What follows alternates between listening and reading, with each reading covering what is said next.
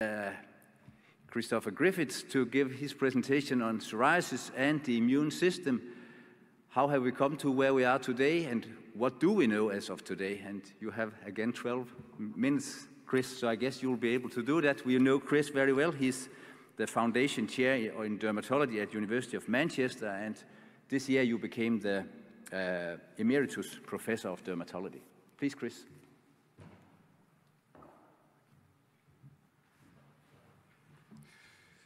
Okay, well, thank you very much, uh, Lars, for asking me to speak. And of course, as you know, I was asked as a, a late substitute, so I feel as though I'm sort of one of the, the youth team coming on to replace um, um, uh, someone such as um, Cristiano Ronaldo off the bench uh, to, to uh, stand in for George Stingl.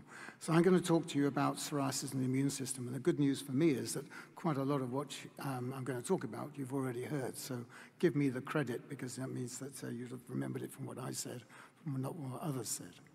So these are my disclosures. And this is what we're dealing with. And of course, it's nothing new. Radcliffe Crocker was a British dermatologist based in London. And he very succinctly said in, not in the 19th century, two theories as to how psoriasis commences. Firstly, it could be inflammation in the dermis as a primary event and the epidermal hyperplasia is secondary. And, or it could be that inflammatory changes in the dermis are a secondary event. And as you've heard, and as I'll show you, up until the early 1980s, theory two held sway, but now it's very much theory one. There, there's still some people who would like us to take us back to the, to, uh, the second theory. So this is what I'm going to talk about, serendipity, T cells, adhesion molecules, cytokines, and my view of what the future may be like. And when I started dermatology um, as a registrar at St Mary's, which was actually almost 40 years ago, I was very lucky to be working in a department which was very far thinking, led by Lionel Fry and with Helgi Valdimarsson, who's professor of immunology, and Barbara Baker, their very talented postdoc. And they were formulating the view that psoriasis was in fact T-cell mediated and the, the, immune system was important. And I was involved in some of those early experiments really sort of collecting the skin biopsies really. And the evidence we had, we said, added further weight to the notion that the pathogenesis of psoriasis is primarily dependent on activities released by T helper cells. Now, by activities, we didn't know about cytokines in those days. We published these papers and no one believed us because it said, well, it's all due to the epidermis and nothing to do with um, these T cells. And then just before that, there'd been this, this uh, serendipitous observation by two Swiss rheumatologists who were using cyclosporin in very high dose to treat arthritis of various forms. And two or three of those patients had psoriatic arthritis, and of course their psoriasis resolved. But they made the so they made that observation, but they believed that cyclosporin was working because it was a proliferative disease and therefore working on the keratinocytes. But um, working with Lionel, um, he felt that actually this was a T-cell targeted therapy, and if we were correct, um, psoriasis should respond very, very well to cyclosporin if it was T-cell mediated. If it didn't, then we were wrong. And luckily, we were right and that showed, uh, that really sort of supported that hypothesis. And then others have also been very heavily involved with that. Jan, Jan Bos, uh, particularly working um, here in Amsterdam.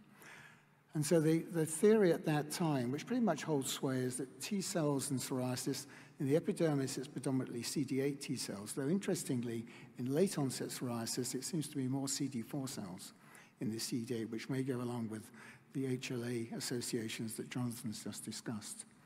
And as I mentioned, um, here in Amsterdam, Jan Bos, who was at the Academic Medical Center here, was really sort of trying to pull everything together, with the immune uh, components of not just psoriasis, but skin inflammation in general. And this early work, based on the work by Wayne Streilein, Streilein is actually very useful to go back and read because a lot of what he predicted has come true. And it's really, I think it's very much a disease that's driven by the innate immune response rather than the adaptive.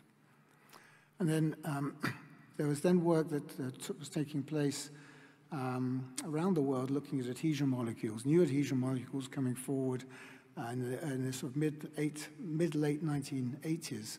And I was lucky enough to work with Brian Nickoloff, who was um, working in the University of Michigan. And we did some of the first studies to show that adhesion molecules are expressed in inflammatory skin disease. and where you find ICAM expressed in the epidermis, you find epidermal lymphocytes. And so putting all that together, we were able to show that probably adhesion molecules are important in psoriasis, not just on the uh, keratinocytes, but also on the endothelium. So T cells are important, but they get into the skin and stay in the skin and react with skin components through adhesion molecules. So the theory at that time, and I think this is still in general true, is that this was a, a yin-yang between Th1 and Th2 diseases. Psoriasis being the archetypal Th1, atopic dermatitis being Th2, and therefore it was gamma interferon, interleukin-2, lesser extent interleukin-12 that were driving the psoriasis process. So it's T cells and Th1 were the sort of the view in the early 1990s. And interestingly, and I'll come back to this at the end, there were a number of observations made over the years, anecdotal again, that patients with who um, received a bone marrow transplant from a patient with psoriasis, they had leukemia, received a bone marrow transplant, they developed psoriasis, and also the, the opposite had been described several times. People with psoriasis developed leukemia or lymphoma, received a bone marrow transplant, and their psoriasis was, inverted commas, cured. So there's some component of bone marrow that was very important in transmitting or um, being involved in the development of psoriasis. I think then the next key observation, and Peter's referred to it already, was this one, this very neat experiment, which actually occurred the, published in the very first issue of Nature Medicine. And this was a work done by uh, Jim Krueger in New York, where they had used a, a diphtheria um, toxin um, bound to interleukin-2, with the premise that this would only bind to cells that in, express interleukin-2 receptor, T cells, not keratinocytes. So this is quite a brave study to do, actually. They showed that this was effective, and they also showed that the CD3 cells started to decline very rapidly in the skin before there was clinical response. So I think is another important step in the way of showing that um, psoriasis is T-cell mediated, and that's an important target. And then we have the, the mouse models. As you know, there's no, there's no animal that actually has psoriasis except the mouse models that we develop. You've heard it. you saw uh, the presentation just by Lars about the act using activated immunocytes. This is work that Brian Nickoloff did. Um, using activated immunocytes, um, IL-2 activated on SCID mice, so normal skin of SCID mice, you can't make that transform into psoriasis.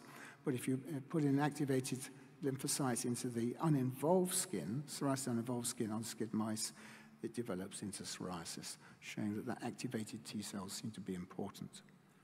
And then serendipity then played an important another role. Um, Alice Gottlieb, um, working in New York, was asked to see a patient who had Crohn's disease and psoriasis. As you know, about 10% of people with Crohn's disease have psoriasis. It was only a matter of time before someone received infliximab for their Crohn's disease, and they also had psoriasis, and she made the observation that the, the uh, psoriasis had completely cleared after the single infusion of infliximab, and that then she then did a, uh, a small case series which, which confirmed that observation. And that really underscored the importance of TNF-alpha, this, the first sort of cytokine really to be um, recognized as very important in psoriasis and targetable. And then um, one of our colleagues on faculty, um, Curdin Conrad and, Bo um, and Boyman and Frank Nestle working in Switzerland were able to show this animal model, which is a different formula than the one that uh, Brian Nickoloff was using, using AGR deficient mice. Um, that T-cell proliferation is important for that psoriasis phenotype, and also you can block that with, and they used etanercept in this model to show that targeting TNF-alpha would improve psoriasis in this model. So you have T cells, interleukin, uh, uh T cells, interleukin 2, and TNF alpha.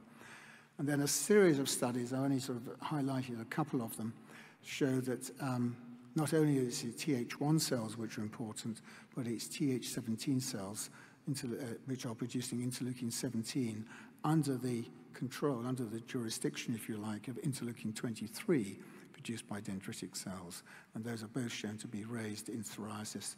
Both uh, the, um, so this is important when you start to think about the future targeting. Interleukin 17, interleukin 23 suddenly become important players, and I think it's true to say that psoriasis is probably you know, the, the prototypic interleukin 17 disease.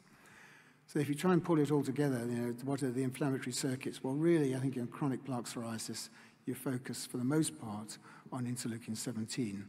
Um, there's variations in this um, choreography between the cytokines, depending on whether it's pustular psoriasis or paradoxical psoriasis, that's psoriasis that occurs after anti-TNF therapy. But interleukin-17 seems at present to be the key target. But of course, you know, we, we, we, people often talk of psoriasis being an autoimmune disease. And I guess probably the main, one of the main exponents of that, or proponents of that, has been Jörg Prinz, who has done some very careful studies over the years, initially looking at um, streptococcal antigen, but then focusing on components of the melanocyte, ADAM being one of them, uh, saying that this is the, an autoantigen that is responsible in a lot of cases of psoriasis, and maybe this is what we should be targeting. So there's a view that it could be an immune response or it could be an autoimmune disease.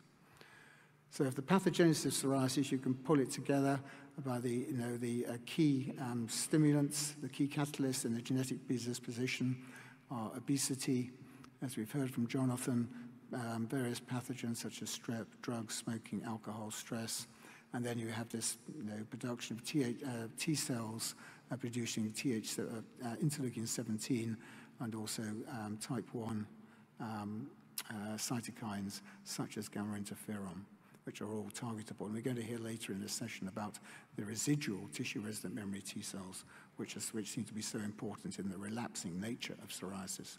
So to close then, what do I think we should be focusing on in the future?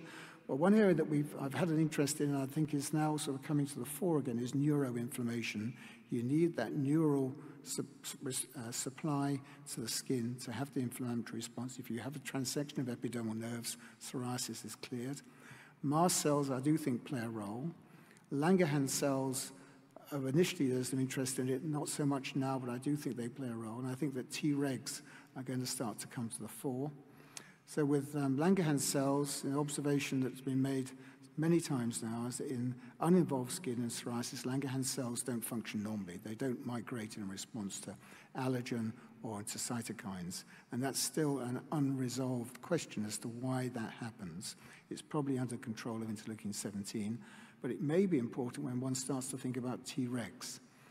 And Tregs, you know, act in concert, as you know, with Langerhans cells, and I think that there's now increasing evidence that there is an abnormality in T regulatory cell function in psoriasis. Now, whether that's due to the Tregs themselves or whether it's due to the microenvironment that they find themselves in is not fully understood. But there is an abnormality in Treg function, therefore that suppressive activity is lost and the psoriasis gets away from that. So if you think about how you can tie all that together, well, I think my view is that if you're looking to what's going to happen in the next 10 to 15 years, as is happened across, happening across the rest of medicine, is that we need to start to think about different ways of managing patients with psoriasis and, and inflammatory skin disease. And that's not biologics and it's not small molecules. It's actually probably cell therapy. And cell, and cell, cell therapy could be uh, mesenchymal stromal cells derived from umbilical cord, Tregs, which are also already starting to be used now in prevention of transplant rejection, and CAR T cells, chimeric antigen receptor T cells, which have been used mainly in cancer. Now the first study in inflammatory skin disease is being undertaken in Penn, where they're using the obvious antigen target in for pemphigus vulgaris. So there's a lot to do yet. Psoriasis is not, is not solved, and the immunologists are going to be in business for a long time. I'm sure we're going to hear a lot more about that at the ISID meeting in uh, Tokyo in May next year. Thank you.